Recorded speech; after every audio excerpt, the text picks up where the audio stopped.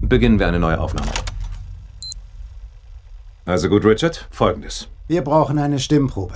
Ich möchte, dass Sie hier ins Telefon sagen, da ist eine Bombe im Centennial Park. Sie haben 30 Minuten. Da ist eine Bombe im Centennial Park. Sie haben 30 Minuten.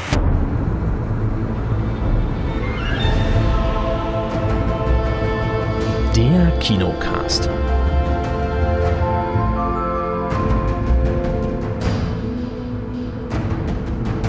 Hallo und herzlich willkommen hier zum neuen Kinocast. Herzlich willkommen, Kate. Hallo. Hallo. Hallo, Chris. Einen schönen guten Tag. Ja, auch herzlich willkommen. Ja, Technik läuft wunderbar. Es kann losgehen. Und wir haben viele Filme für euch mitgebracht und wir werden, glaube ich, auch mal noch so ein bisschen über die Oscar-Nominierungen sprechen, was uns da so ins Auge sticht oder worauf wir uns freuen. Und einen neuen Trailer haben wir auch, der ziemlich gut aussieht. Und mal gucken, was uns noch so einfällt. Wir beginnen erstmal mit unserer Sneak Preview der vergangenen Woche. Das war ein Film, von dem ich vorher noch nie was gehört hatte, wie es mir auch bei dem letzten Film von Clint Eastwood so ging, den wir in der Sneak hatten. Das war ja The Mule und diesmal haben wir den neuen Film vom Regisseur. Oder hat er bei The Mule, hat er da eigentlich Regie geführt? Nee, hat er nur mitgespielt, ne? Der hat auf jeden Fall mitgespielt. Ja. Ich weiß die Regie, weiß ich nicht. Da Müsste- bin ich mit, jetzt- ist jetzt dünnes Eis, ähm, aber auf jeden Fall mit Clint Eastwood war der und jetzt äh, von Clint Eastwood der Film Der Fall Richard Jewell, im englischen Original nur Richard Jewell.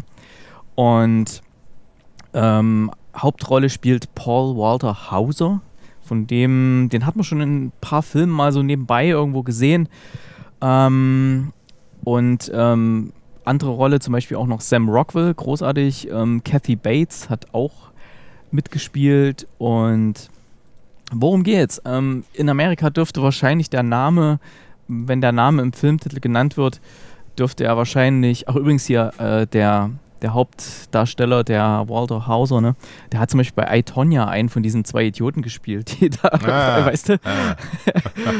ähm, ja, also der, der Richard Jewell war ein, ein Sicherheitsmann, der immer eine Tendenz hatte, irgendwie auch mehr sein zu wollen. Also er wollte gerne in die Polizei. Er war auch mal in der, in der Polizei, ist dort aber aus irgendeinem Grund dann nicht weiter beschäftigt worden und schlägt sich dann mehr oder weniger mit so Sicherheitsjobs ähm, durch und hat aber immer so eine, so eine sehr starke Affinität zu den richtigen, in Anführungszeichen, richtigen Ordnungshütern oder Uniformträgern, ja, und er will auch immer richtig gut sein. Er ist auch total informiert. Also er ist eigentlich fachlich topfit, ja, er weiß, ähm, wie das alles so läuft, wie Polizeiermittlungsarbeit geht und wie sonst was geht. Und er wird dann eingeteilt in Atlanta 1996, um dort so, ja, so eine, so eine Abendfeierlichkeiten, so Konzert, so eine Konzertarena während dieser äh, Olympischen Sommerspiele mit ähm, sicherheitsmäßig zu begleiten.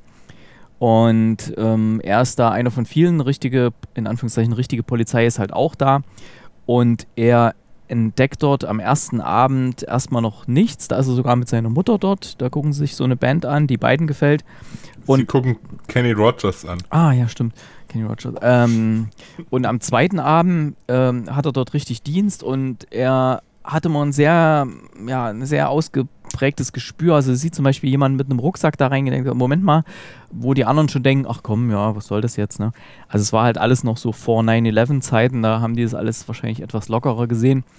Und ähm, dann sieht er auch mal noch jemand anders mit einem Rucksack, äh, nee, Entschuldigung, den, Ruck, äh, den Mann sieht er nicht, sondern er sieht dann plötzlich mal so einen herrenlosen Rucksack irgendwo stehen und gibt die Meldung erstmal weiter und die anderen sagen so, ja, ach, wird schon nix sein und so was. Und er macht aber richtig Druck, dass da jemand sich kümmert und die kommen dann auch mit hin, werfen da mal so einen vorsichtigen Blick rein und sehen, äh, upsala, ähm, da sind so ein paar Röhren drin mit jeder Menge Drähten und Zeug und ähm, dann fangen die erstmal an, weil da natürlich eine große Menschenmenge ist, versuchen die erstmal mit so einer Art Menschenkette die, die Person erstmal da ein bisschen davon wegzudrängen, von diesem, äh, von diesem Ort, wo die Bombe liegt. Die liegt an der Seite von so einem, ja, von so einem äh, ja, auf- Übertragungsturm. Auf, ja, aufgebauten Häuschen da, ne?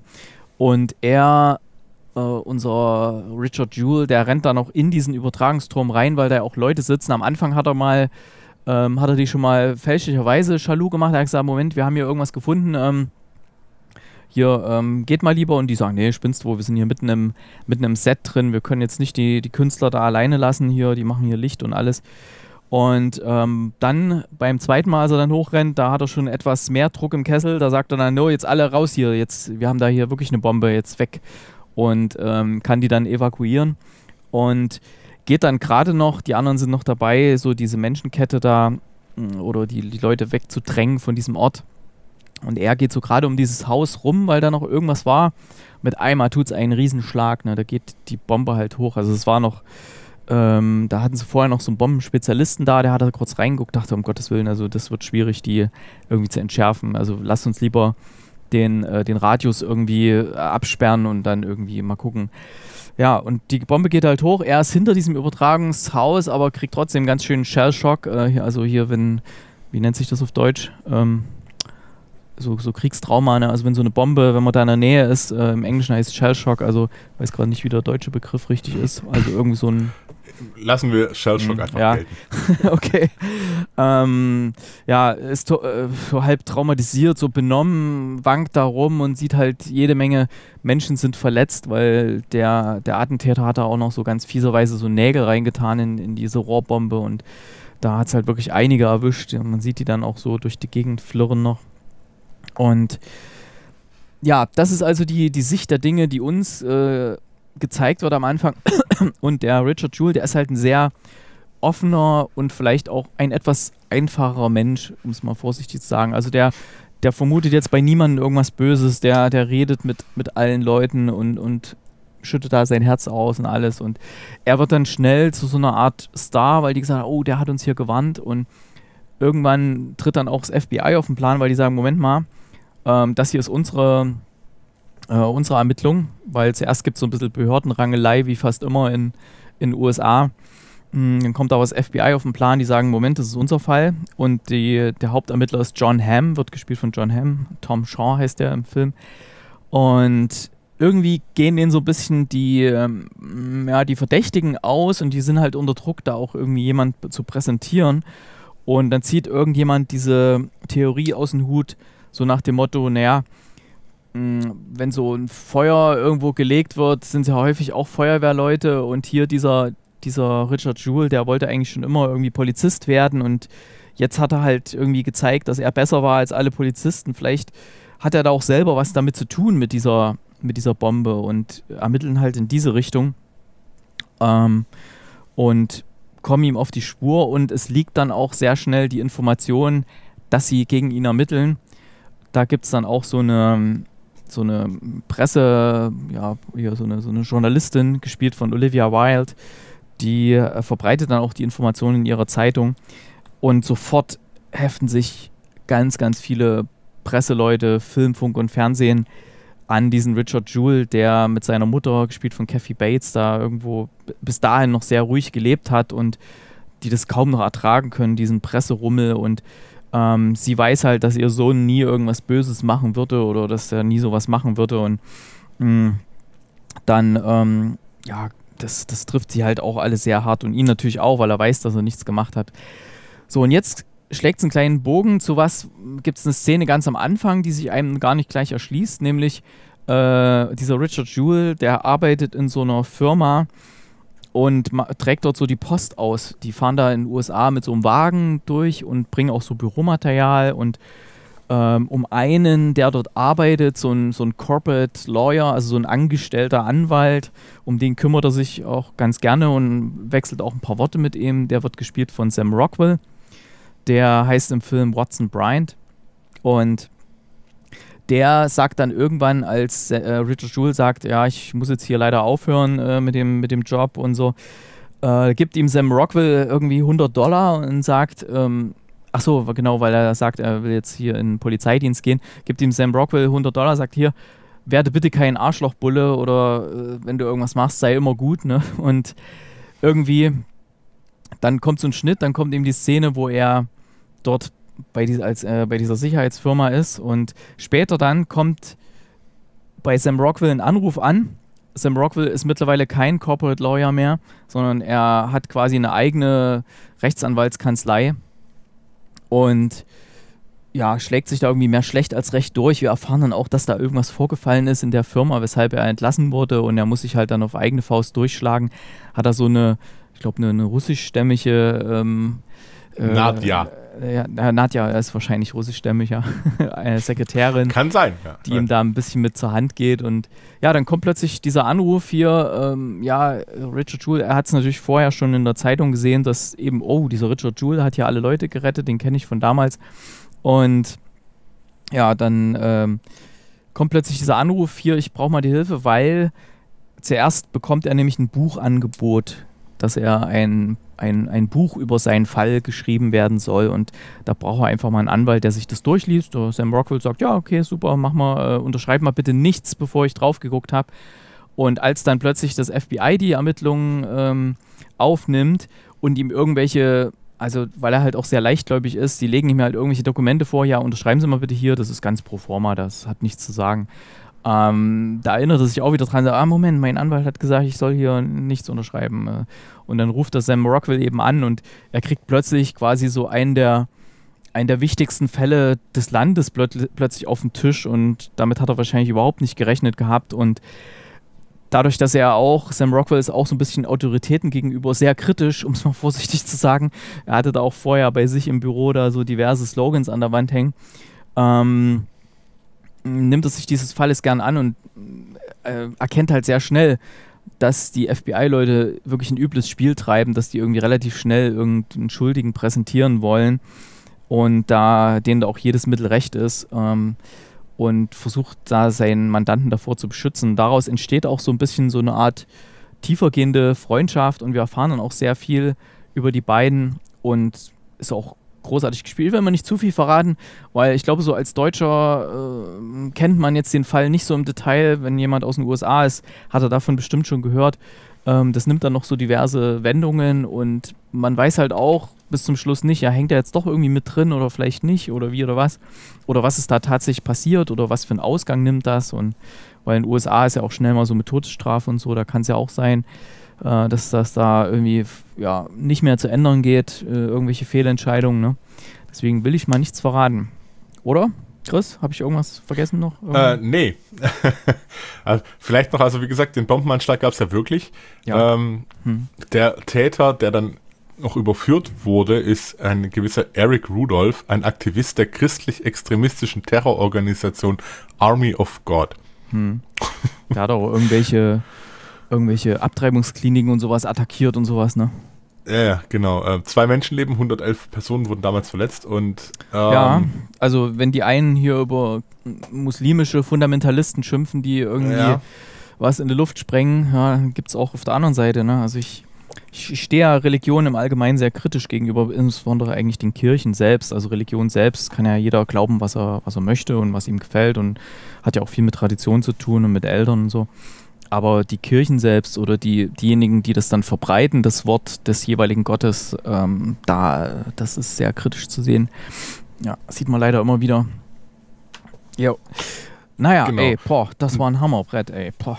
Es war ein ziemliches Brett, weil es halt wirklich äh, aufgezeigt hat, zum einen, wie schnell sich was wandeln kann vom Helden, vom, vom Hero zum äh, Hero to Zero. Zum, zum Oberschurke. äh, wie, wie, wie einfach es auch gehen kann, in solche Bereiche einzudringen und wie schnell sich die Presse auf solche Menschen dann auch stürzt und denen das, das Leben eigentlich völlig niedermachen kann oder auch völlig äh, ja, das, das Darf ich hier mal noch kurz einen Satz einhaken? Ähm, ich fand es auch also das war ja damals in Anführungszeichen nur die Presse und das Fernsehen. Äh, überleg mal heute, wie das wäre mit ja. Social Media, wie schnell da die Leute verbrannt wären. Boah. Richtig, richtig. Deswegen, also heutzutage, um Gottes Willen. Äh, und es ist halt, man hat, ich will jetzt nicht sagen, es ist so typisch Amerika, aber das ist äh, ganz schnell, man schießt sehr schnell in alle Richtungen. Und ja, es trifft halt in dem Fall auch einfache Menschen, die eigentlich nichts Böses im Sinn hatten und auch eigentlich nur helfen wollten. Und auch wenn man sieht die ganze Zeit, wie äh, Richard Jewell da sogar die noch unterstützt, die eine Szene aus dem Trailer auch nochmal zu nennen mit dem, ja, sagen Sie mal, in 30 Minuten explodiert die Bombe. Und jetzt sagen Sie es mal nochmal, jetzt sagen Sie es mal nochmal, sprechen Sie mal hier auf den Anrufbeantworter drauf und blablabla. die ganzen Ermittlungsmethoden und so, was da, was da lief, was da auch nicht ganz rechtens lief. Und ich, ich glaube das in dem Fall, dass es zum größten Teil auch wirklich stimmt, weil so wie wir jetzt das von Clint Eastwood, wenn der Filme macht, gewohnt sind, die sind sehr detailliert und die sind sehr genau, was solche Sachen angeht. Und das ist, ja, es ist eine, eine brutal interessante Geschichte gewesen. Also der Film geht auch über zwei Stunden. Ich weiß noch, am Anfang des Films habe ich noch zum Erik gemeint, so, oh, der geht, geht auch jetzt so lang. Oder als es dann rauskommt, der Erik meinte, boah, schon wieder so ein zwei Stunden Brett. Ey, ich habe nicht einmal auf mein Handy geschaut während dem Film und das will echt was heißen. Also ich habe, saß die ganze Zeit echt Ich dran, auch, ich weil, auch, ja. weil die Geschichte echt toll erzählt ist, was super eingefangen ist, einfach die ganzen Stadien, wie es der Mutter geht dabei, wie, wie, wie die eigentlich am Rande des Zusammenbruchs die ganze Zeit rumläuft, äh, wie gefühlt der, der Richard das gar nicht alles so erfasst, worum es da eigentlich geht. Aber im Endeffekt bricht es dann doch irgendwann auch mal aus ihm raus. Sein Anwalt ist Sam Rockwell als äh, grandios. Also Ich mag den. Ich kann, da kann spielen, was er will. Irgendwie hat er eine Ah. gute, gute Rollenauswahl. Ja, aber das war auch, also das war wirklich so genial, auch teilweise was, was der da gemacht hat. Und wie- wie gesagt, ich hatte von dem Film den Trailer gesehen, habe gesagt, oh, das könnte ein ganz interessantes Ding werden. Äh, ist tatsächlich mehr wie ein interessantes Ding. Es ist ein Film, den man sich wirklich anschauen sollte. Ja. Kathy Bates ist nominiert für einen Oscar als beste Nebendarstellerin. Für Leider- den Film? Ja, für diesen Film. Ah. Leider ähm, Sam Rockwell nicht. Der hat es meiner Ein- Ansicht nach eher auch, auch verdient gehabt. Also jetzt nicht nur, weil ich den persönlich mag, aber ähm, die Rolle war einfach auch großartig angelegt. Aber ist halt schwer, wenn Scorsese da einen Netflix-Film rausbringt mit lauter Ja. männlichen äh, Nebendarstellern und äh, Tarantino in demselben Jahr auch noch einen hat, ähm, das ist halt schwer, dann gegen Brad Pitt, Joe Pesci, Al Pacino, Anthony Hopkins und Tom Hanks anzugehen. Ähm, Das ist dann, ja, hm. Obwohl, äh, ich sag mal so, gegen Joe Pesci in, in Irishman fand ich jetzt ähm, Sam Rockwell hier besser als Joe Pesci in, Iron, äh, in Irishman, ja. Oh, das war ein großartiger Film.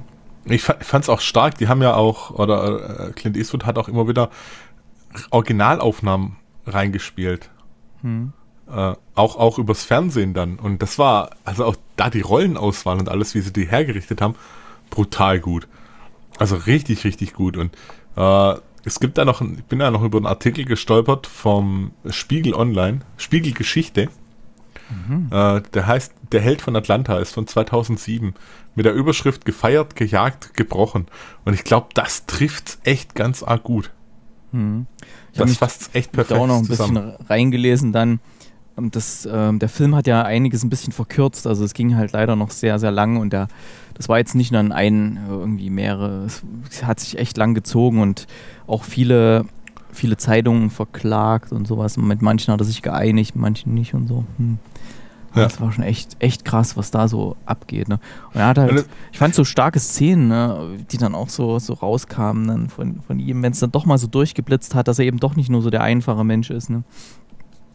Ja, ja, klar. Hier, hier einfach nur au- aus dem Artikel ganz kurz raushält. Das FBI beschuldigte ihn zwar nie formell, durchsuchte aber vor laufenden Kameras die Wohnung seiner Mutter, bei der er lebte, und konfiszierte ihre Tupperware-Sammlung. Steht, steht da drin, oder? was? Steht in dem Artikel drin. Das ist also auch Okay. ein Fakt.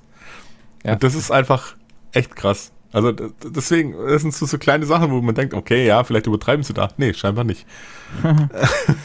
Ja, das haben sie auch schön dargestellt gehabt in dem Film. Aber das, ey, wenn du das überlegst, wie die da mit, mit was für Ressourcen die da quasi in einem, einem Gespenst nachjagen, wo sie denken, das ist es, ja, wenn du überlegst, dann Ja. Irgendwie, ja, gut. Ja, Aber was ich- auch im Film nicht drin war, weil du sagst verkürzt, ähm, von den Verletzten haben zwei Stück Zivilklage auch erhoben gegen Jewel. Ah, okay. Krass. Also, Ah ja. puh. Und dass hinten raus Jewel auch die Medien wegen Verleumdung verklagt hat. Das meinte ich ja gerade. Da. Ja. Mit denen, manchen Ja. hat er sich dann geeinigt und ja, manchen halt dann nicht. Aber ach, das war schon echt ein wahnsinnig guter Film. Das hätte ich auch so nicht gedacht, wo das so losging. Und ähm, am Anfang ging es mir halt so ein bisschen auf die Nerven, der Typ. Ich dachte, wohin will der Film jetzt eigentlich? Ne? Und dann, dann, also ich hatte von dem Film gar nichts gehört. Das war so eine typische Sneak Preview, ne? Also wirklich, das war auch ganz gut so. Weil ich glaube, sonst hätte ich vielleicht vorher schon ein bisschen was gelesen gehabt und gedacht, ah, okay, so und so. Jetzt warte ich mal auf die Szene oder auf das, ne? Aber das war halt, boah, Wahnsinn. Ja. Jo, ähm, OV hat man es ja, also Originalversion, da musste ich mir am Anfang ein bisschen reinhören. Das war diesmal ein bisschen kompliziert. War ein bisschen tricky, ja. Mhm. Aber Also, ich, wie war es mit, mit den Waffen? Wir in Georgia. ja, das, ähm, wir haben ja, wir haben ja ein Büro in, in Phoenix ähm, und Oh, in Arizona. Ja, und da ist es, äh, da ist es ja nochmal extremer. Da schicken manchmal so Kollegen, die da mal drüben sind, schicken so, so Fotos, wenn dann irgendwelche auf dem Motorrad sitzen, ja, und guckt hinten so die, die Knarre hinten aus der Hose raus, weißt du, so während der oder so eine Dinger da. Oder irgendwelche haben so richtige, wie die Polizei, die hat doch so Halterungen für ihre Pumpguns äh, in der Mitte. Ja. Sowas haben da Privatleute. Weißt du, was, was ist da los, ey? naja, ähm, schon, schon ein extrem guter Film. Also wann startet der eigentlich? Ich wollte gerade mal gucken. Hm, wann startet der eigentlich in Deutschland? Ich glaube jetzt auch irgendwann im Februar, ne? Kam aber übrigens, während, um die Zeit kurz zu überbrücken, nicht komplett gut an. Also die schlechteste Bewertung ist 4, dann gibt es zweimal 5. Du, da war ja bei dem Aber dann ab französischen 7 Film aufwärts wird es massiver. Also Ich weiß nicht, ob da manche abstimmen, die es überhaupt nicht gesehen haben, weil da war ja letztens bei dem, hier bei dem französischen Film hier, äh, Intrige, da waren ja auch alle gut. Da gab es einen, der hat so drei gegeben oder so. Also ja. So, filmstarts.de sagt, der Film startet gar nicht. Steht nämlich kein Datum da.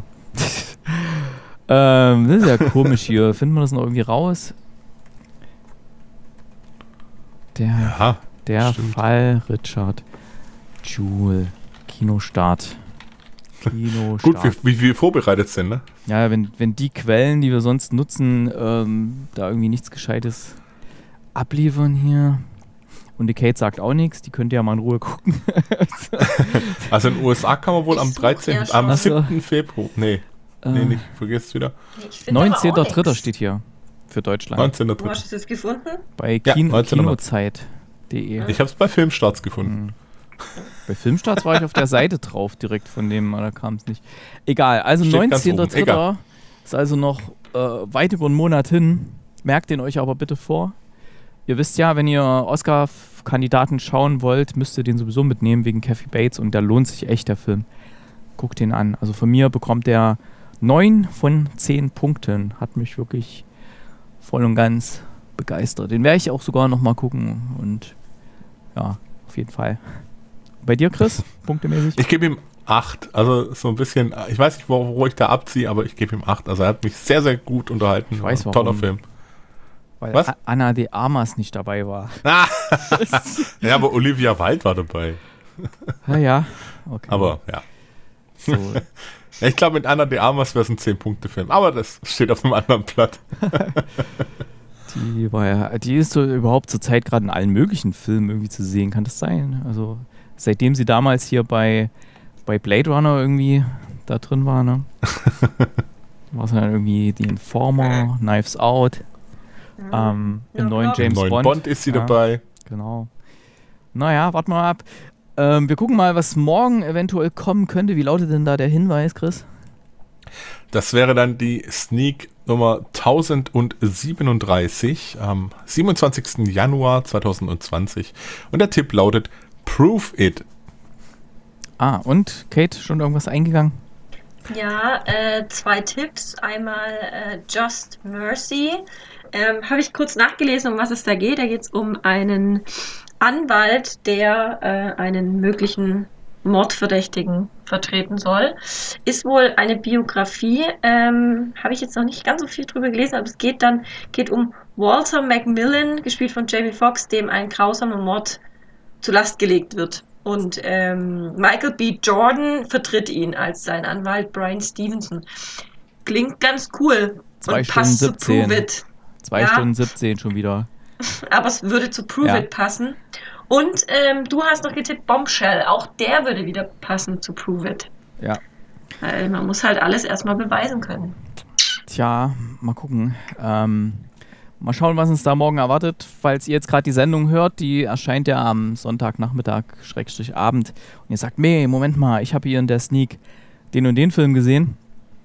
Dann, der könnte viel besser passen auf den Tipp. Dann schreibt den mal in der Metropol Sneak Facebook-Gruppe. Würden wir uns sehr freuen. Ja, macht mal, weil die bisherigen Tipps sind, glaube ich, nicht so. Ja. Mann! Mal gucken. Auf Proven Dann- hätte ich echt Bock. Der Wir- Trailer sah geil aus. Wir kommen mal weiter zu einem weiteren äh, Oscar-nominierten Film.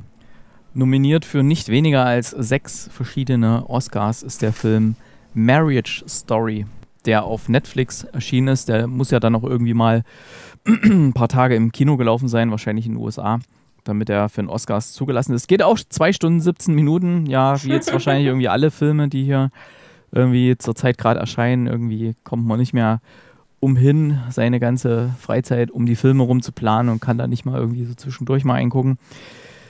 Der Film ist gedreht von Noah Baumbach. Ähm, Hauptrolle spielt Adam Driver. Den haben wir zuletzt in Star Wars gesehen und davor hier in Black Clansman zum Beispiel. Ähm, Scarlett Johansson spielt noch mit. Dann äh, Judy Greer, äh, Julia Greer, Entschuldigung. Und ähm, wie heißt der Mann? Ähm, jetzt muss ich kurz gucken. Ah, Finde ich gerade den Namen nicht. Ähm, also auf jeden Fall ist es eine, ja, keine, keine Beziehungsgeschichte in dem Sinn, sondern eher das Ende einer Beziehungsgeschichte, um es mal so zu sagen.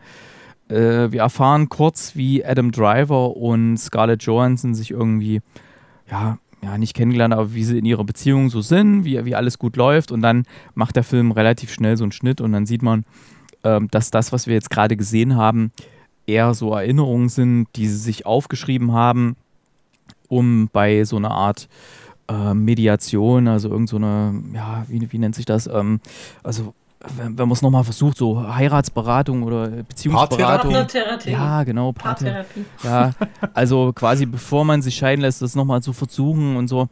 Und da sieht man aber schon, die zwei sind schon ganz schön entzweit. Das Problem ist nur, sie haben auch einen kleinen Sohn, der Henry, wird gespielt von A.G. Robertson. Und ähm, wie immer in solchen Beziehungen, wenn dann Kinder im Spiel sind und die Beziehungen gehen auseinander, das ist alles immer sehr, sehr schwierig.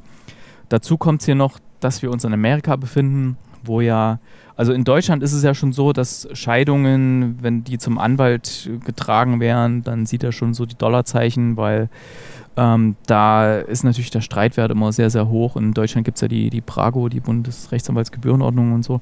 Da wird ja nach dem Streitwert auch abgerechnet und da verdienen die richtig gut dabei, die Scheidungsanwälte. Hier in den USA ist natürlich eine ganze Spur schärfer und ähm, es kommt noch mit dazu, dass alles nicht sehr einfach ist. Also Adam Driver arbeitet am Broadway als Regisseur für Theaterstücke.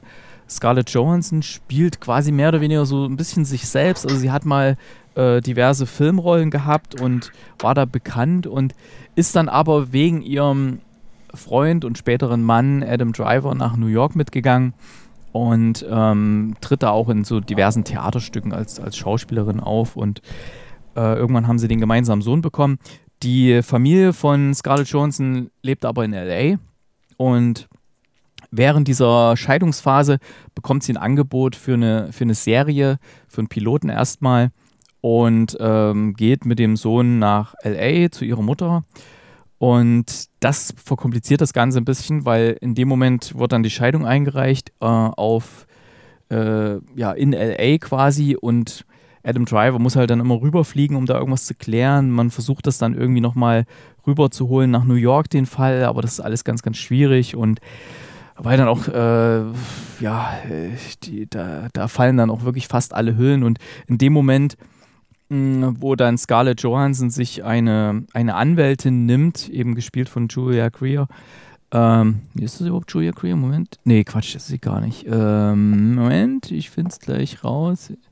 Ähm, die ist nämlich auch Oscar nominiert. Laura Dern, genau, Laura Dern ist ihre Anwältin. Und die sieht natürlich sofort äh, die Dollarzeichen. Das ist auch, die ist in der Branche schon bekannt als ganz scharfer, scharfe Hündin, die sich da in solche Sachen reinbeißt und dann wird es echt schmutzig. Das wird dann ein richtiger Rosenkrieg und den Anwalt von äh, ihm, von Adam Driver, spielt dann Alan Alda. Den kennt man, glaube ich, zum Beispiel aus der Serie MASH oder so, hat er früher mitgespielt und diversen anderen Serien. Mm. Und das ist wirklich äh, das schlittert immer so weiter ab und man sieht, die zwei haben sich mal irgendwie gut verstanden. Da gibt es dann auch wieder äh, so Szenen, wenn die sich begegnen, wo ja, wo irgendwie alles so ein bisschen in Ordnung scheint und es könnte wieder funktionieren, aber dann passieren doch wieder Sachen, äh, wo sie sich wirklich total zerfleischen und ähm, dann ist es auch so, dass irgendwie nur gefühlt nur die Anwälte miteinander reden und jeder redet auch mit seinem Anwalt und ähm, erzählt dort Dinge, die wiederum Munition sein könnten für den Fall und dann bringen die Anwälte das wieder vor in der nächsten Diskussion. Also sie versuchen es am Anfang ja noch außergerichtlich und oh, das, ähm, das ist alles extrem zermürbend, dieses ganze, diese Darstellung, aber auch wahnsinnig gut gespielt und das ist natürlich ein, kein einfaches Thema. Das ist jetzt nicht so ein Allerweltsthema, an das man sich jetzt mal so, so ranwagt, wo man sagt, ja, da kann man mal einen Film abdrehen, der wird dann schon erfolgreich werden und so. So eine, so eine typische Geschichte, sondern das ist hier wirklich so ein Film mit einem sehr schweren Thema, mm, was man nicht einfach mal so runterdrehen kann und deswegen größter Respekt vor der, vor der Regisseur, äh, ist das eine Regisseurin oder Regisseur? Noah könnte ein Mann sein. Ja, ist ein Mann ähm, größten Respekt vor dem Regisseur. Also wirklich so ein heißes Eisen da anzupacken und das auch so darzustellen und auch was es dann für Auswirkungen nimmt. Also es schlittert immer weiter abwärts und ja, auf jeden Fall sehenswert. Gerade auch wegen der schauspielerischen Performance von den beiden, auf jeden Fall. Scarlett Johansson, Adam Driver und auch Oscar nominiert ist ja äh, Laura Dern ich gucke gerade mal noch, wer noch alles für was nominiert war. Ist auch als bester Film. Adam Driver als bester Darsteller, Scarlett Johansson beste Darstellerin. Beste Nebendarstellerin, Laura Dern, hatte ich schon erwähnt. Mm, bestes, äh, bestes Drehbuch, äh, Noah Baumbach. Bester Score, Randy Newman. Ähm, ja, das waren so die. Und es gibt es auf Netflix. Das heißt, wer Netflix hat, kann das sich ja mal angucken. Damit hat Netflix eigentlich schon zwei richtig ähm, häufig nominierte Filme im Portfolio jetzt für die Oscar, für die Oscars. Also zum einen mit The Irishman und Marriage Story. Das sieht schon mal gar nicht so schlecht aus, ne? Hat was, ja. ja also für mich, ach so, Punkte noch, äh, 8,5. Oh. Also nicht rein thematisch und ich glaube, ich habe auch keinen Bock, den Film nochmal zu sehen, weil das ist definitiv das Gegenteil von einem Feel-Good-Movie. Also der, der zieht einen so schrittweise immer weiter runter. Und, aber es ist sehr sehenswert. Sehr sehenswert. Ja, super. Ja. Ich dachte, wir schauen nur noch Feelgood-Movies, weil. Ich weiß nicht, aber es, äh, so als Date-Movie würde ich abraten. äh, wenn du sagst, hey, ah. hier, ja, hübsche junge Frau oder äh, weiß nicht, was ja auch immer, komm mit nach Hause, ich habe Netflix, komm, lass uns hier Netflix and Chill machen hier und hey, Marriage Story, klingt doch super. Mit Adam Driver und Scarlett Johansson, das Bild sieht auch nett aus. Komm, lass uns das Geil besetzt, ey, mega. lass uns das gucken. Äh, nein, würde ich abraten. Guter Tipp, ähm, nicht anmachen. Also dann im Date, ja. Ähm, ja, ihr habt auch noch ein bisschen was geguckt. Zu dem einen Film kann ich auch was sagen. Den habe ich auch schon mehrfach gesehen. Mehrfach? Ja, na, hör mal. Welchen mehrfach? Kann ja nur der eine sein. Ja, den, den ihr beide drin habt. Mhm. Ja. also Pokémon Meisterdetektiv Pikachu. Ja. Ich meine, den hatten wir ja schon mal in der Pika, Sendung. Pika. Äh, läuft gerade auf Sky und ja, das heißt, Anton. wir haben ihn jetzt auch mal Anton. Anton, genau. Anton. Anton. Die Geschichte sollte inzwischen bekannt sein. Äh, Menschen und Pokémon leben zusammen. Ähm, wie immer kommt irgendwas dazwischen. Es kommt in dem Fall dazwischen, dass äh, ein Bösewicht irgendwas gegen die Pokémon hat und dann eben Pikachu als Detektiv zusammen äh, mit einem 21-jährigen Jungen, äh, dessen Namen mir gerade nicht mehr einfällt, äh, umherzieht, um eben diesen Fall zu lösen. Hieß ja nicht Tim? Korrekt, korrekt zusammengefasst? Ich weiß nicht mehr. Ich, so viel ist nicht hängen geblieben, das siehst du mal. Ach, ähm, ja, der Film war süß. Definitiv. Storytechnisch, ja, ähm, das ein oder andere Loophole war definitiv drin. Und ich denke, für Kids ist er auf jeden Fall was. Äh, war, war schon nette Unterhaltung, aber mehr brauche ich. Also ich weiß nicht, ob ich den nochmal sehen muss. Äh, ich würde allerdings interessieren, ob er als Grundlage dienen könnte für andere Pokémon-Filme. Das könnte ich mir wiederum ganz gut vorstellen. Kate, wie siehst du das? Äh, ich fand den besser. Also, ich, witzigerweise, ich habe ihn schlechter bewertet als du, aber ich fand ihn besser als du. Ich fand den, also mir ist von der Story relativ viel hängen geblieben. Ähm, ich fand die Darstellung der Pokémon auch echt gut. Also die, die, zum Beispiel jetzt Pikachu sah halt extrem flauschig aus mit Fell und der Schlurp mit seiner glippe, glipperigen Zunge. Ich finde, es war extrem gut dargestellt. Ich fand es gut animiert. Ähm, die Story war ja gut, es ist halt, ja, für Erwachsene, die kommen relativ schnell dahinter, um was es da geht, ja, und wo da, wer da wo dahinter steckt und wer da mit, mit äh, im Boot hockt und wer nicht. Ähm, ich habe das relativ schnell durchschaut ähm, und von daher, Nein. aber es war trotzdem süß. Also ich glaube, ich würde den noch mal gucken, wenn er mal kommt. Aber und ja, er könnte wahrscheinlich auch ein guter Aufhänger für weitere Pokémon-Filme sein. Aber das ist dann halt halt wirklich für die jüngere Generation. Also ich bin da glaube ich zu alt für. Da müsste mehr passieren. Schöner Familienfilm, finde ich. Ja, ja. Ja, ja, Familienfilm. Meinem Hund hat er gefallen. Keine Ahnung. Hat nicht mitgeguckt. Und das war ja auch Äh. der, der Film, der hat ja dazu geführt, dass der Remy, also mein Sohn, der wollte ja unbedingt einen Anton haben, deswegen sind wir ja auf der Gamescom rumgerannt und haben geguckt, ob es irgendwo einen Anton zu kaufen gibt. Die Du, Entrance. kann, du kannst dich erinnern. oh ja. Und dann Ich gab es frage mich nur, schon, was suchen wir dieses Jahr auf der da Gamescom? gab's nur ein, einen Stand, die, die irgendwie so eine Handvoll Antons hatten ne? und für wahnsinnig viel Geld, du musst ich natürlich nehmen. Hm. Ja, Und er hat sich wahnsinnig gefreut darüber, das oder? stimmt, ja. Sitzt jetzt noch Siehst da du? oben rum, ja. Ja, Die strahlenden Kinderaugen, das war's doch wert. da, definitiv. Ah, Ja, ich ist ein süßer Film. Ich habe den jetzt auch schon wieder äh, mal geschaut gehabt. Ne? Ich finde den schön. Wir haben den ja auf Disc hier.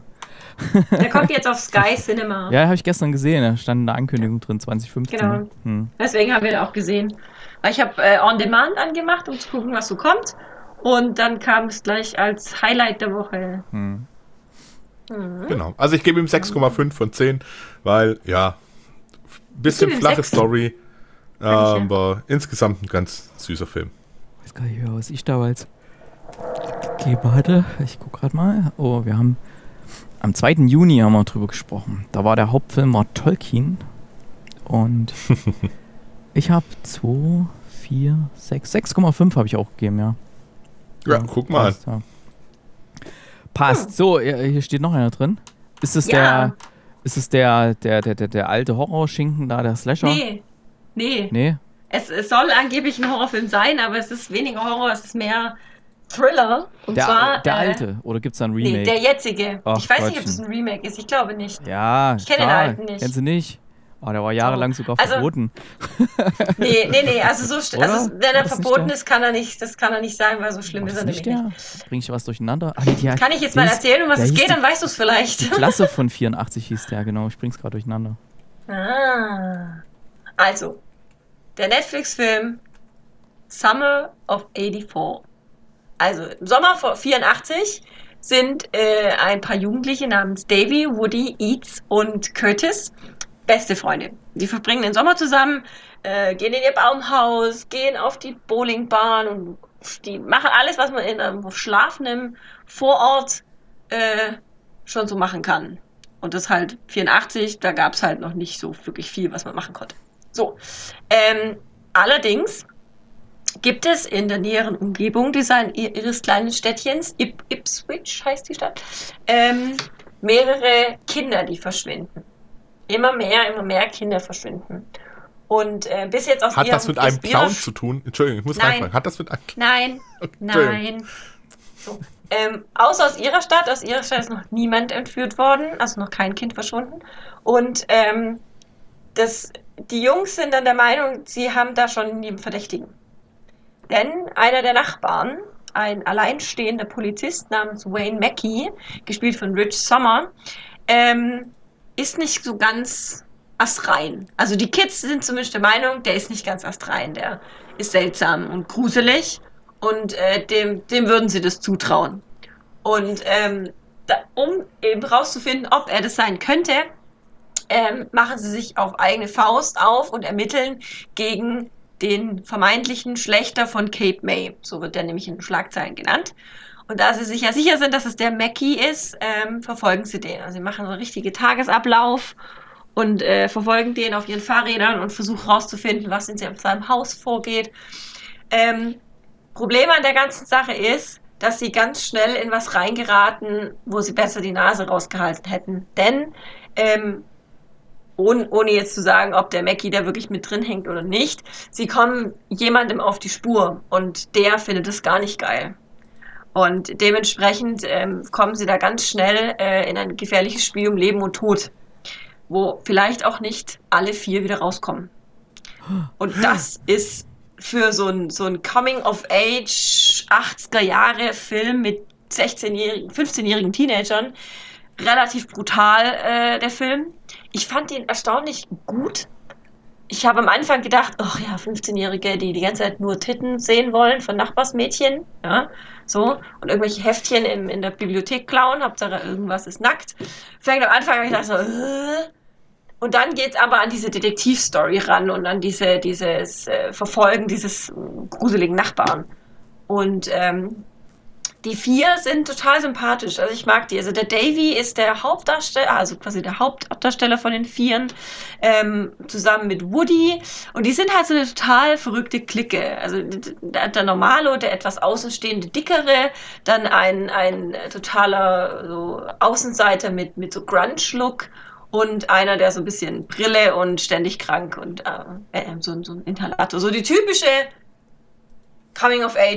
Coming-of-Age-Gruppe von Kindern und Jugendlichen. Hat das mit einem ähm, Clown zu tun? Nein, das ist ab, witzigerweise, ich habe mich an, ich habe mich an mehrere, wirklich mehrere Filme erinnert gefühlt, wie zum Beispiel Disturbia, nur ohne Hausarrest und ähm, an, an äh, ja, äh, wie heißt dieser eine Film? Oh, einer meiner Lieblingsfilme. Verdammt. Stay, Stand By Me. Und äh, an solche Filme habe ich mich erinnert gefühlt. Und ich fand den wirklich gut. Ich fand ihn spannend bis zum Schluss. Ähm, wo du, du denkst kurz, okay, jetzt ist der Film vorbei, aber ist er noch nicht, weil da ah. kommt noch was. Ah. Und ich fand ihn wirklich spannend. Ich kann es gar nicht anders in, in Worte fassen. Es, ähm, man muss diese Art Film mögen, ganz klar. Ähm, aber es, also ich bin der Meinung, man kann es mal klicken, es macht Spaß anzugucken, es ist spannend. Und gruselig. Bisschen gruselig. Bisschen gruselig. Und wo gibt's den? Äh, hast du's? Netflix. Auf Netflix, okay. Ja. Was Witzige ist. Und ich gebe ihm 8 von 10 Punkten. Oh, wow. Witzig ist, mhm. dieser Font hier auf dem Poster sieht nämlich genauso mhm. aus wie bei Die Klasse von 84. Äh, das Witzige ist ja, dass ähm, der Film wird als Horrorfilm deklariert es ist er aber nicht. Er ist eher so ein bisschen gruseliger, gruseliger Thriller. Also auch wenn man, also wenn man hier auf Filmstarts das Poster anguckt, dann ist auch im Hintergrund so ein Totenschädel mhm. und es sieht alles so gruselig aus mit ihren Taschenlampen. Aber so ist es eigentlich gar nicht. Ich finde es gar also nicht so versucht Netflix nach Stranger Things jetzt so dieses 80er-Ding irgendwie weiterzureiten. Ja. ja, aber nicht ganz so extrem wie bei Stranger Things. Soll das ich mein, also 84 hier, spielen? Ja, ne? Ja, im Sommer mhm. von 84. Also ich finde, was Einzige, was halt da ist, dass sie halt ähm, mit so ähm, alten Walkie-Talkies sich immer unterhalten und ähm, halt, ja, das typische Sommer, amerikanischen Jugendsommer. Also sie treffen sich auch jeden Abend mit den, mit den Kumpels und der halben Schule gefühlt und spielen äh, Fange mit Taschenlampen. Und das ist halt, so, so stelle ich mir das echt in so einer kleinen amerikanischen Vorstadt vor damals 84, wo du halt kein Handy hattest und keine Spielekonsolen und da die ganze Zeit rumgedaddelt hast, sondern du bist halt Bowling spielen gegangen und hast dich im Baumhaus mit deinem Club getroffen und das kam schon realistisch rüber. Ich finde, ähm, äh, Stranger Things hat es halt nochmal noch auf eine, eine Spur höher getragen, weil die halt ein viel größeres Setting hatten und da halt mit der, mit der Mall und allem halt auch entsprechend das, dieses 80s-Feeling nochmal rüberbringen konnten ich vergesse, also ich, ich habe ein bisschen oft, öfter mal vergessen, dass das eigentlich im Jahre 84 spielen soll, ähm, der Film, aber trotz allem habe ich mich gut unterhalten gefühlt und die vier Jungs sind süß. Ja. Haben die gut gespielt. Gut. ja, vielleicht werfe ich doch mal einen Blick rein. Ja, ich kenne, also wie gesagt, die, dieser andere Film hat mit dem offensichtlich nichts zu tun. Ich glaube nicht. In dem anderen Film, äh, Chris, vielleicht für dich, äh, geht es um Lehrer an so einer Schule, wo so eine, so eine Punk-Gang so irgendwie das Sagen hat und ein Lehrer äh, entscheidet sich mal ohne Waffen zur Schule zu kommen, ja, und äh, es mal im Guten zu versuchen, das geht irgendwie völlig schief und so. Okay. Ja. Ja. Klingt sehr realistisch, ja. Äh, ja, er ist aber einer der Kultfilme der 80er. aber gut. Also, Summer of 84 auf Netflix ebenfalls nicht für Oscars nominiert, habe ich gecheckt gerade. ähm, Überraschend. aber wir können ja mal einen Blick reinwerfen, ob uns da irgendwas Cooles auffällt bei den Oscar-Nominierungen. Äh, Ich habe euch den Link mal mit ins Dokument gepostet auf der rechten Seite da. Oh, ich habe einen Ähm, anderen Link, glaube ich. Ja, da werden dieselben Nominierungen stehen. Ach, Wikipedia. Ja, dann habe ich auch Wikipedia. Ich habe auch Wikipedia ähm, Ja. So, wir können ja mal kurz durchgucken. Also beim besten Film fangen wir an. Also Ford vs. Ferrari hat man sogar in der Sneak. Joker hat man Ja. in der Sneak. 1917 hat man in der Sneak. Und Parasite, also vier. Vier Filme von den neun sind es, glaube ich, immer zwei, vier, sechs, acht, neun. Vier Filme von den neun hatten wir in der Metropol Sneak. Das ist der Hammer dieses Jahr. Also das ist echt gut. Ja. Das ist verdammt gute Quote, Ja. ja. Das Weil ist richtig, richtig Ich gut. meine, ja. die Nominierungen, die sind ja noch nicht so lange raus. Es war jetzt nicht so, dass die, die Leute im Kino gesagt haben, ah, hier gibt es den und den Film und ähm, der ist Oscar nominiert, dann nehmen wir mal den, sondern das war ja teilweise nur so Sichtungen, so, ja, der, der ist gut, den nehmen wir mal rein oder so. Ne? Ähm, was uns jetzt noch fehlt, oder euch jetzt noch fehlt, ist The Irishman. Den habe ich ja gesehen. Mhm. Jojo Rabbit fehlt noch. Doch, den, den haben ich ja alle nicht noch nicht- sehen. Ah, was? Jojo Rabbit soll super sein. Das soll genial Ja, sein. oh, Absolut genial soll der nicht. sein. Ähm, Little Woman sagt mir irgendwie gar nichts. Amy Pascal. Das Das ist mit, mit äh, Emma Emma Watson. Watson. Ja, sagt mir aber irgendwie nichts. Ähm, ja, Once Upon, äh, One, Once Upon a Time in Hollywood, den habe ich ja gesehen. Das ist einer meiner Enttäuschungen des Jahres gewesen. Ähm, weiß ich nicht, ob ihr da euch rantraut. Und Marriage Story habt ihr auch noch nicht. Dann bester Best Director, bester Regisseur. Irishman, äh, Scorsese, Joker, Todd Phillips, Sam Mendes 1917 und Tarantino für Once Upon a Time Hollywood und Bong Joon-ho für Parasite.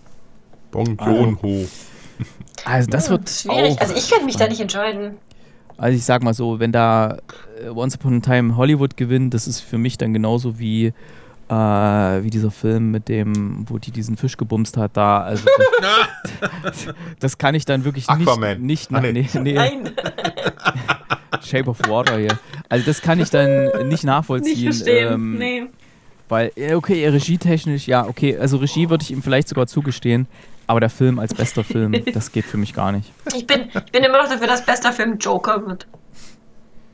Ja, bei der lief schon wieder zu früh an. Das ist immer, du hast, glaube ich, so ein bisschen das Zeitfenster verpasst bei. Hm. Du, du musst eigentlich relativ kurz vor den Oscars, dass es noch so ein bisschen frisch ist und so.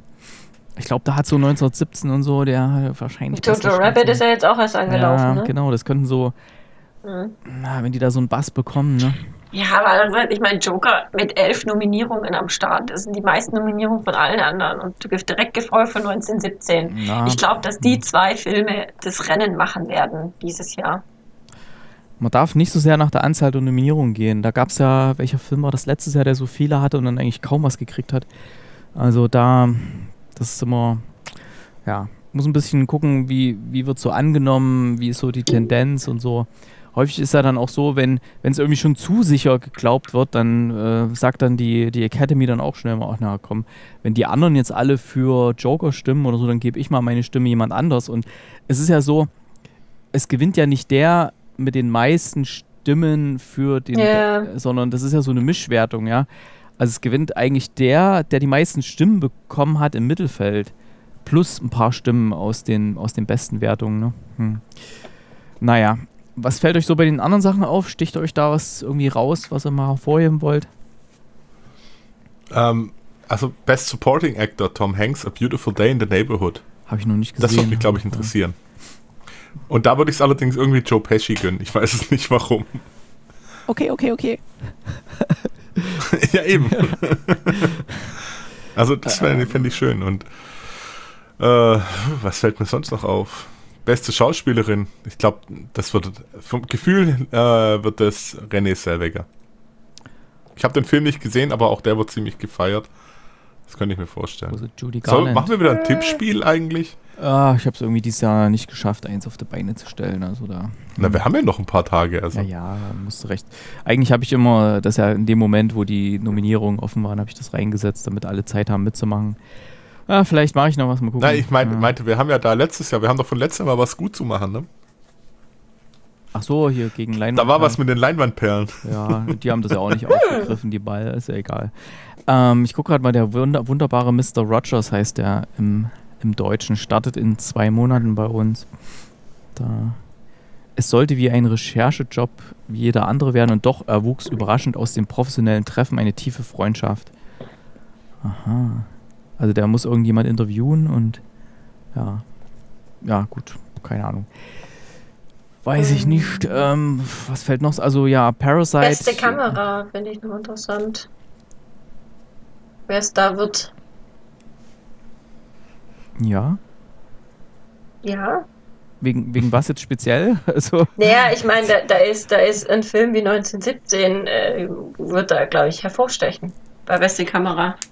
Weil ich habe ich, vor kurzem, dann war das gestern oder so, habe ich einen, einen, einen, Film, so einen Spot gesehen, wo sie quasi die Filmaufnahmen ähm, neben die ähm, tatsächlichen Aufnahmen, wie, die, wie das gedreht wurde, gemacht äh, gezeigt, gestellt haben.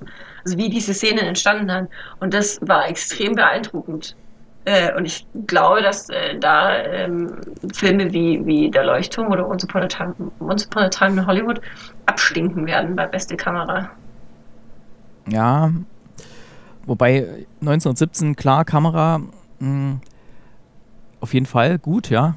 Ähm, auch gut fand ich aber zum Beispiel auch die Kameraarbeiten Parasite. Da waren häufig so schöne Einstellungen drin, die du. Ja, aber der ist nicht nominiert für beste Kamera.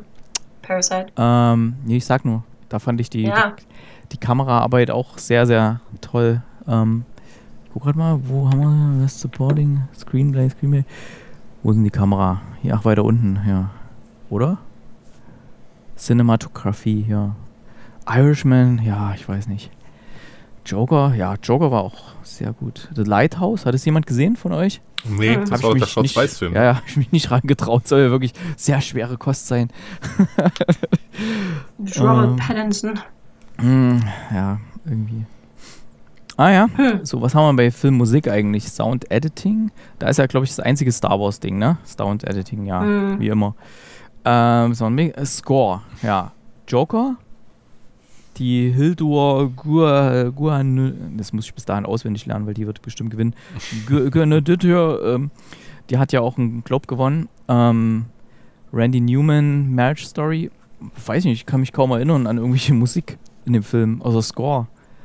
Also, das ist schon mal. Also 1917, da saßen wir beide ja im Kino und haben gedacht, boah, der Score, Hammer. Da war ja auch äh, Thomas Newman. Ähm, Ja. Und Star Wars, John Williams, ja.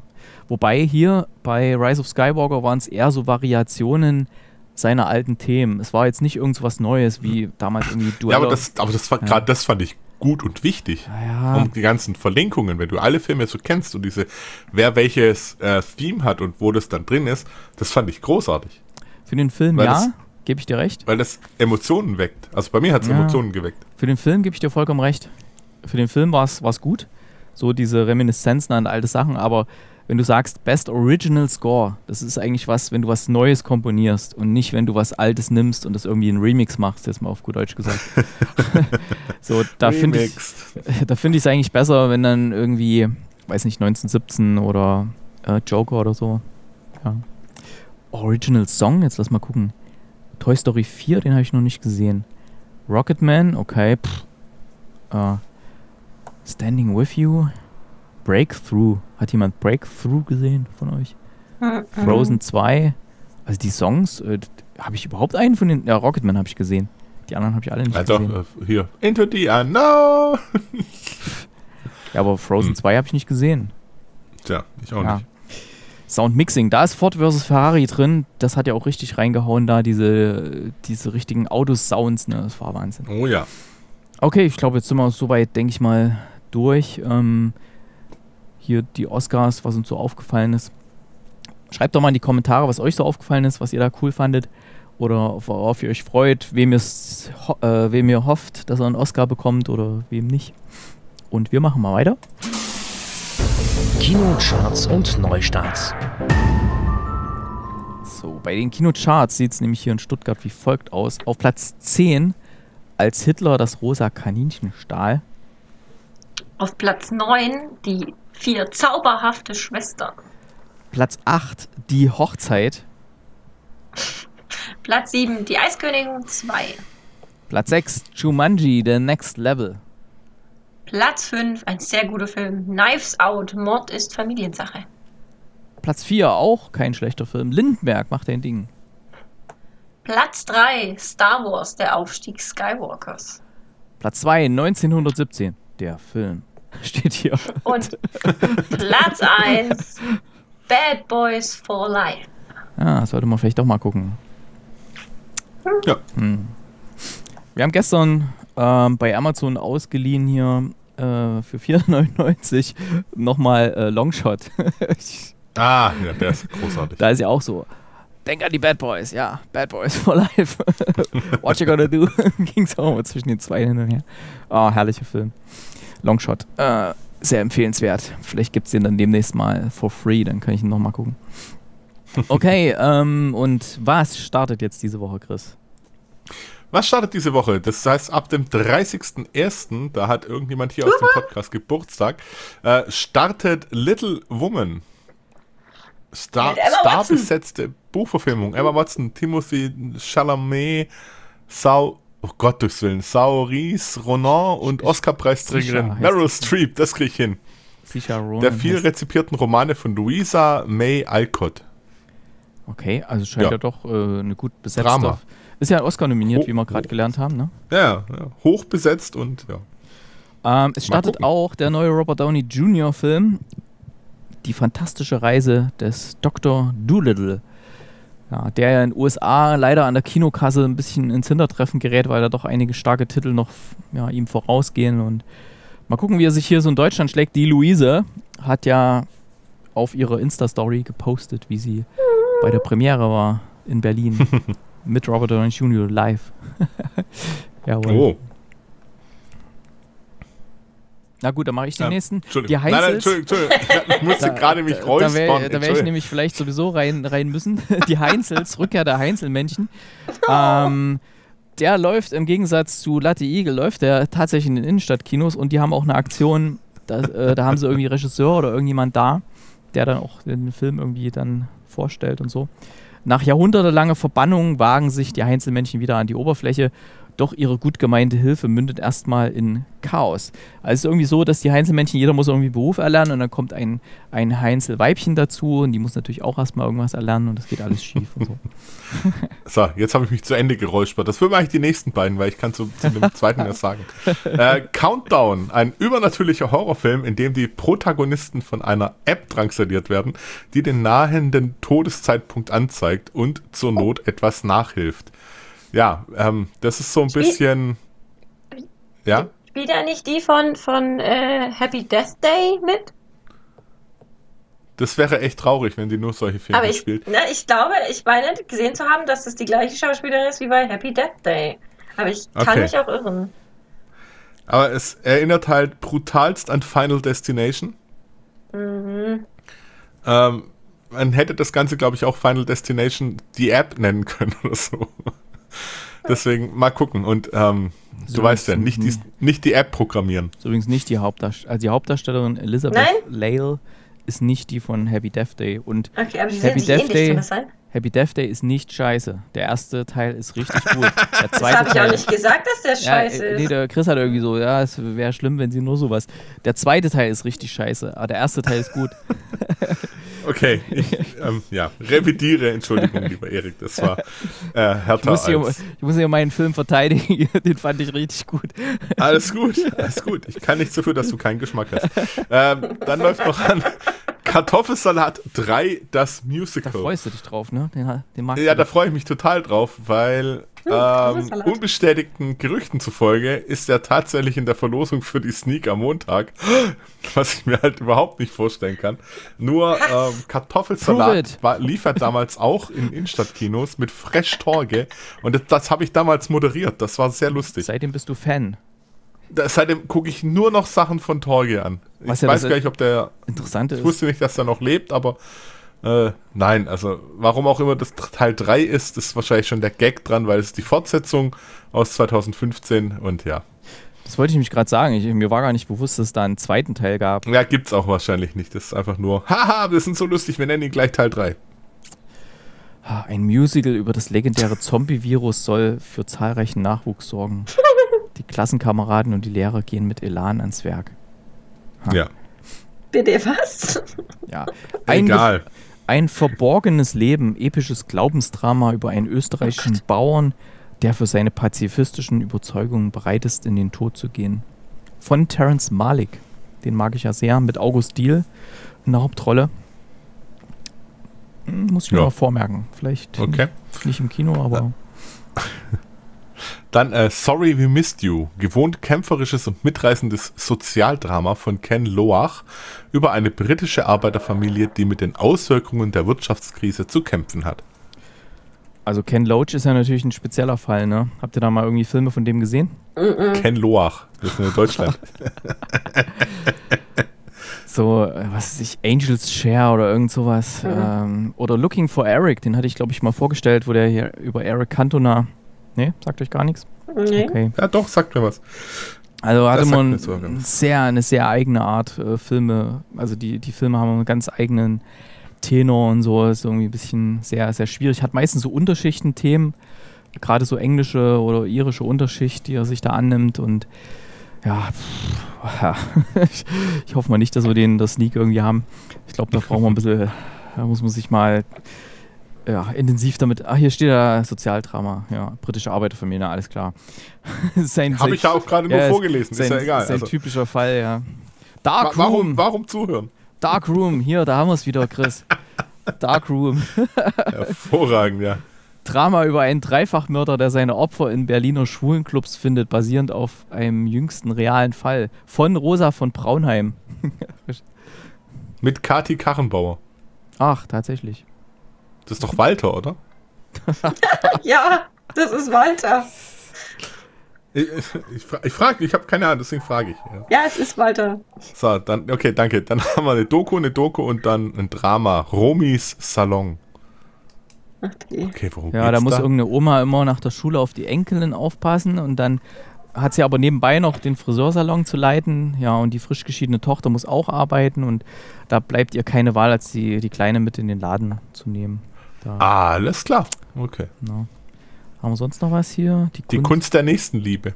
Die Kunst der Komödie über eine Frau, die anderen hilft und dabei ihre Familie vernachlässigt. Hm. Oh, was ist denn hier? O- 2020 Oscar-nominated Shortfilms. Das wäre natürlich auch eine coole Aktion, wenn, wenn die Innenstadtkinos vielleicht so eine als Art Vorfilm, natürlich nicht gerade, wenn ein 2 Stunden 20 Film dann läuft, aber einen von diesen Kurzfilmen, die Oscar nominiert sind, mal zeigen würden. Das wäre cool. Ne? Wäre mal Ja. was anderes. Ich glaube, da sind wir jetzt durch soweit mit den Ja. Kinosachen und wir werfen mal einen Blick, was hier so fürs Heimkino neu erscheint. Ähm, am 27. Januar erscheint zum Beispiel Angry Birds 2, der Film auf Blu-ray. Muss man, glaube ich, nicht mehr viel dazu sagen. Soll aber ganz lustig sein. Ich habe da eine Frage. Da gab es einen zweiten? Ja klar. Lief sogar im Kino, haben wir wochenlang Das vorgelesen in Charts. Das ging voll an mir vorbei. Gab es echt einen zweiten? Ja, kannst du jetzt auf Blu-ray kaufen. Ja, jetzt auf. Blu-ray, ja. Ist Ich hab unbedingt, unbedingt kaufen. Ja, okay, mach mal weiter. Äh, Rambo Last Blood gibt es in verschiedenen Versionen. Also der letzte Rambo. Ist es der letzte? Voraussichtlich, man weiß es nicht. Soll ja immer der letzte sein und dann kommt doch noch was. dann, dann steht er doch nochmal auf. Rambo. Jo, das war's auch schon mit den Blu-ray-Neustarts und dann gucken wir doch mal, was wir vielleicht für einen Trailer für euch haben hier. Hm? Nehmen wir den. Sneak Preview. Ich habe einen rausgesucht gehabt, einen Trailer. Ähm, der heißt Dark Waters. Und den habe ich hauptsächlich deswegen auch mal bei uns reingeschmissen, weil da ein Song kommt, wo ich dachte, Ja. ja Chris, wie, Den wir in unserer Playlist haben, ne? äh, ja, haben wir, ja, stimmt, ja, genau. Naja. Und äh, wie fandst du außerhalb dieses Songs, äh, ja, den Trailer an sich so? Ah, Sehr cool. Hm, extrem. Sehr ne? cool. Bin ich sehr gespannt, was da passiert, also was dabei rumkommt. Wirkte auf jeden Fall, ja, wie, wie ein Film, den man sehen möchte. Heißt übrigens auf Deutsch nicht mehr nicht Dark Waters, sondern wörtlich übersetzt vergiftete Wahrheit. ähm, Läuft- Ähm, ja. läuft am 16.04. an. und äh, ist ein Film von Todd Haynes und da geht es darum, dass sich Mark Ruffalo als Anwalt ähm, ja, der gerät dann oder der deckt dann so verschiedene Sachen auf, ihnen werden Sachen herangetragen und er deckt dann auf, dass eben so eine Chemiefirma jahrelang wirklich massiv äh, Sachen in die, die Umwelt entlassen hat, was mittlerweile auch äh, in Menschen nachweisbar ist. Und das sind so Stoffe, die werden nicht ausgeschieden, die bleiben halt einfach da und äh, verursachen ihre gesundheitsschädliche Wirkungen nach und nach. Manche halt auch nicht. Also es ist halt so eine Sache, ne? Hast irgendwelche Chemikalien in dir, die gehen nie wieder raus, ja, und keiner weiß so recht, ob das jetzt was, hm, was da jetzt genau passiert. Und hier muss halt wirklich sehr, sehr viele Leute da, ja, quasi mit in, äh, sehr viele, für viele Leute klagen und legt sich ja wirklich mit sehr großen Unternehmen an und gefällt mir sehr gut, der Trailer. Habe ich jetzt auch gerade mal mit reingenommen wegen Richard Jewell und so, weil man da auch so, so der, der Kleine, der wirklich so gegen so ein großes System kämpft und so. Tim Robbins ist auch noch mit dabei, Anne Hathaway. Also der Cast ist auch der Wahnsinn. Und ja, bin ich mein, mein erster Gedanke war ehrlich gesagt Aaron Brockovich. Ja, meine auch. Aber es sieht, äh, das macht es jetzt nicht irgendwie abwertend oder so. Im Gegenteil. Mhm. Also Aaron Brockovich ist ein wunderbarer Film. Ich finde, kann den, ich gucke den heute noch gern. Ähm, und äh, ich glaube, dass das so in eine ähnliche Richtung nur mit aktuellen Themen geht. Ja. Und ich finde Mark Ruffalo in der Rolle, es sieht sehr interessant aus. Definitiv. Also da hätte ich, also ich habe mich jetzt schon geärgert, dass ich den letzten Sneak-Film verpasst habe, ähm, der ja auch eigentlich total meins wäre. Ähm, und jetzt, äh, den, den werde ich, werd ich gucken möchten. Möchte ich gucken. Dark Waters möchte ich gucken. Das ist voll meins.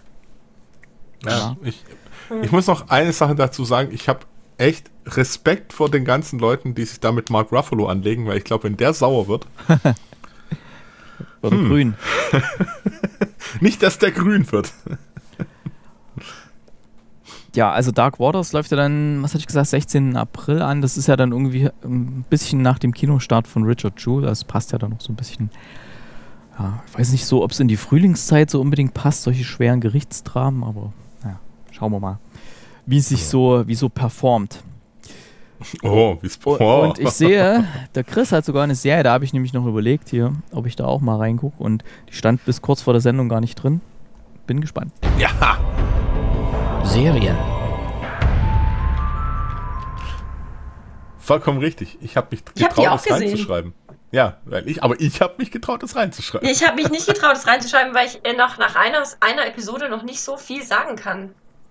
Ja, aber sie Deswegen läuft an. Und es ja, ja, wurde, ja wurde sehr, sehr groß angekündigt, läuft seit drei Tagen, läuft es auf Amazon Prime.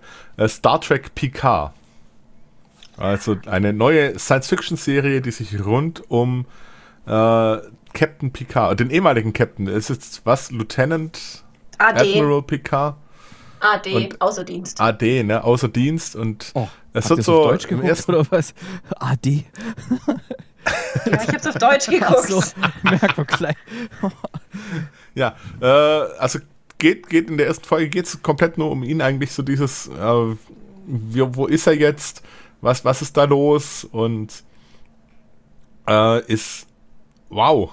Also ich fand's ganz cool. Also die ganzen Aufnahmen, dann natürlich mhm. schauspielerisch richtig geil, weil die richtigen Leute einfach mitspielen. Äh, also Patrick Stewart als äh, Jean-Luc Picard, äh, Brent Spiner ist zu sehen ja. als Data und ja, es ist so wirklich, es spielt so nach dieser Zeit nach Enterprise und die Welt hat sich schon ziemlich verändert und das kommt in einem Interview der, das erste Interview, das Picard da führt, seit ewig Zeiten, äh, wird, da, wird da auch so ein bisschen aufgedeckt und die Serie verspricht sehr viel mehr und sie macht so, ja, ein Stück weit teilweise ungutes Gefühl bei der ganzen Sache, wenn man sich sagt, okay, äh, da, das ist noch das Universum, wie man es kennen sollte, weil ich will einfach nicht zu viel verraten. Das ist, so, das ist ein bisschen schwer. Ja, aber ich habe nicht zu viel, ja ja, vom, vom Gefühl her transportieren die, mit dieser Serie ähm, das Star Trek-Universum in eine modernere Zeit rein. Wobei, das haben sie ja durch, durch Star Trek Discovery vorher schon gemacht. Aber Picard ist jetzt halt nochmal nochmal nostalgischer, nochmal mehr dem Original wieder zugewandt. Ich fand ja Discovery super, die ersten zwei Staffeln finde ich klasse, aber Picard hat mich jetzt in der ersten Folge total mitgenommen, weil ähm, nicht nur wegen den Darstellern, die wir gesehen haben, sondern auch wegen denen, die dahinter stecken. Ähm, Jonathan Frakes hat seine Finger in dieser Serie mit drin, wird auch selber auftauchen, wird, macht in mehreren Folgen, wenn nicht sogar in allen Regie, ich weiß es nicht mehr 100 Prozent, aber da sind, da sind die Originalen, haben da ihre Finger drin und das hat, ich finde, das hat man in der ersten Folge direkt gemerkt. Und ich habe ja, ich bin eine totale Affinität zu den beiden, seit ich da letztes Jahr die auf der auf der Gamescom, äh, auf der Comic Con äh, kurz kennengelernt habe und auch äh, für den einen oder anderen sogar was arbeiten durfte. Ähm, und die sind, die sind einfach so cool und es ist, äh, es ist so Nostalgie pur und aber auf eine gute Art und Weise und die machen da eine neue Geschichte auf und das. Ah, Kate Ende. Der Ja, da Erik will es ja auch noch sehen. Also. Star Trek Discovery, ähm, das lief ja auf Netflix, ne? Und das läuft ja jetzt auf Ja. Amazon. Ihr lief Discovery auf Netflix? Ich glaube ja. Warte, ich check das mal nebenher. Ich denke schon. Ich habe es mit einer absoluten Sicherheit gesagt. Äh, deswegen habe ich jetzt eigentlich keine Widerworte erwartet hier. ähm, nee, Quatsch. Ich bitte. Aber ich glaube, es war so. Ähm, und das wundert mich. An sich, Ja, wundert, du hast korrekt. an sich wundert mich recht. das schon, dass das jetzt so ein bisschen aufgeteilt wird. Weil so, äh, in der Vergangenheit war es zumindest immer so, dass ähm, die versucht haben, das alles immer schon schön zusammenzuhalten. Ja, es war ja irgendwie von äh, Paramount produziert am Anfang immer noch und ja, da wurde halt versucht, wirklich so auf alles. Und jetzt, was weiß ich, die eine Serie kommt da, und die andere kommt da und ähm, hier, ähm, Dings hier, der Picard, der Darsteller, hat er eigentlich gesagt, er will nie wieder den Picard spielen, weil er zu sehr darauf festgelegt wurde auf den und jetzt spielt er es doch wieder und irgendwie, es ist irgendwie alles sehr suspekt da. Also deswegen habe ich mich auch nicht so richtig rangetraut, mh, weil ich zum einen dachte, okay, ähm, Star Trek Discovery hat mir ziemlich gut gefallen, mh, wie die das so in die neue Zeit transportiert haben. Und jetzt kommt auf einmal Amazon um die Ecke, von denen ich in letzter Zeit eher enttäuscht war von ihrer Eigenproduktion. Und äh, bringen jetzt Picard. Ich habe gedacht, äh, mal gucken. Ich kann mir höchstens vorstellen, dass es daran liegt, dass ähm, vielleicht gerade Leute, gerade wie, wie Jonathan Frakes und, und die ganze alte Garde gefühlt mitsprechen wollten. Vielleicht wollte Netflix das nicht zulassen, dass die da mit. Wobei eigentlich war Jonathan Frakes bei Star Trek Discovery auch immer als Berater mit dabei. Und Netflix lässt. Netflix lässt eigentlich relativ viel zu, während Amazon eher versucht, das zu steuern, weil die haben ja noch eine weitergehende Verwertungskette, weil die Ja. wollen es ja auch dann später noch zum Beispiel verkaufen, ja, als, als Discs, als Blu-ray und sonst was Mhm. alles. Also die gucken da schon mehr drauf. Ähm, ich glaube, du hast als Produzent bei Netflix noch ein paar mehr Freiheiten. Du bist technisch sehr eingeschränkt. Da gucken sie sehr genau, da, was du da für Equipment nimmst und Framerate und irgendwie sowas. Dass das auch Mhm. alles irgendwie einen gewissen Look hat und, und gewisse Qualität auch hat, aber ja, deswegen, ah, ich weiß nicht so recht, weil Schwierig. ich meine, Aber wenn das jetzt, trotzdem rein, das ist gut. ich meine, Auch wenn es. Amazon ist jetzt für mich jetzt nicht gerade so bekannt für geile Science-Fiction-Serien, Eigenproduktion.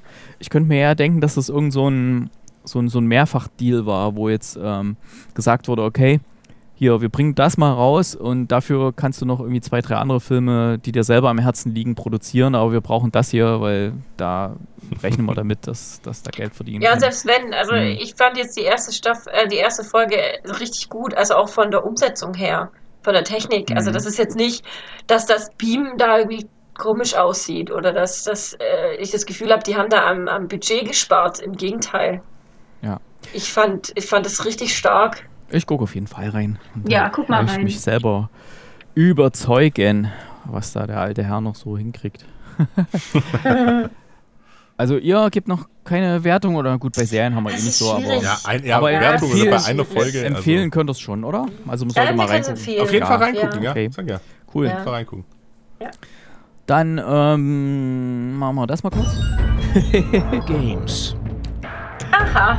Chris, du hast, du hast doch PlayStation Dings hier, diesen Vertrag da hier, ne? Auch wie ich jetzt. PlayStation Plus auch. heißt Ja, genau. das. Hast du ja auch das, das Goat-Game mit der Ziege? Hast du das auch Nee, habe ich noch nicht geholt. Das ist jetzt irgendwie mit dabei. Das ist ja total abgefahren. Das ist total verrückt. Mach das mal. So, das war's schon zum Thema Games. Dann machen wir weiter mit dem all allgemeinen Bereich hier. 200 Puls habe ich. Bald. So, ähm, und wir kommen mal zu den Musiktipps. Ich würde sagen, fang, fängt mal der Chris an, weil der hat noch was, was ein bisschen Filmbezug hat. Ja, ich habe, ähm, weil wir es vorher schon eingangs hatten, aus dem Film Der Fall Richard Jewell, von dem einen Auftritt, wo eben Richard Jewell mit seiner Mom ist, von Kenny Rogers The Gambler genommen. Ein schönen Country-Song, so richtig zum Ha ha ha ha ha. Gibt es da vielleicht sogar eine Live-Version hier? Warte mal, Kenny Rogers, Ja, Gambler? Mal Vielleicht gibt es eine Live-Version, keine Guck Ahnung. mal, nee, hier gibt es nur The Gambler, The Gambler, was ist das? Tribute Club in the, nee, Karaoke-Version brauchen wir nicht. Dann nehmen wir die, Karaoke da, gut. dann nehmen wir die, die normale Version, Playlist hinzufügen, Kinocast Songs, so. Kate, was hast du für einen? Ich habe äh, von Lucas Graham einen Song rausgesucht und zwar, den kennen wahrscheinlich die meisten, weil es einer seiner bekanntesten ist. Seven Years. Okay. Packe ich auch mit drauf. Vom blauen Album. Steht hier. Mhm. So, und ich habe, äh, weil ich das letztens beim Joggen mal wieder in, kam in meiner Zufalls-Playlist, ähm, habe ich von den Boomfunk MCs Freestyler. Freestyler. Das ist irgendwie, Geil. das geht immer Da hast du gleich mal hier das Mikrofon gerockt. Genau, Rock the Microphone. So, welche Version nehmen wir hier? Die kann ich kann jetzt nicht reinhören. Ich nehme einfach mal die. Ein gute Laune-Song, der einen nach vorne treibt. Und ähm, Kommentare hatten wir zur letzten Folge auf dem Blog zumindest mal nicht. Aber mir hat jemand über irgendeinen anderen Kanal, jetzt muss ich kurz gucken, ich glaube es war über Twitter, hat irgendjemand nochmal gratuliert gehabt zur 600. Folge. Ähm, finde ich bloß jetzt gerade. Ach, hier doch, der Max, ich nenne es mal. Oder ich kann ja seinen Twitter-Handle sagen. At MM, beides groß, kleines E, XX88. Ich hoffe, diese 88 hat nicht irgendwas Kurioses zu heißen hier, das wollen wir nicht. Ähm, ja, der hat uns zu 600 Ausgaben Kinocast gratuliert. Er hat nämlich wahrscheinlich da erst die letzte Ausgabe gehört gehabt. Ansonsten hatten wir leider sonst nichts, also gab auch keine Wortmeldung irgendwie, irgendwas. Hm, naja. Hm, hat man sonst noch irgendwas? Nö. Seid ihr noch da überhaupt? Wir sind noch da, selbstverständlich. Klar. Frage nur, es war so ruhig geworden hier. Ähm, Ja, wir haben gelauscht und Ach so. War ja sonst nichts weiter. Also drücken wir die Daumen, dass morgen was Gutes in der Sneak kommt. Es ist ja von Kartoffelsalat 3 bis, bis irgendwie Oscar-Kandidaten irgendwie alles im Spiel. Ähm, schauen wir mal. Und dann hören wir uns nächste Woche wieder. Bis dann. Tschüss. ciao, ciao. Bis dann, ciao.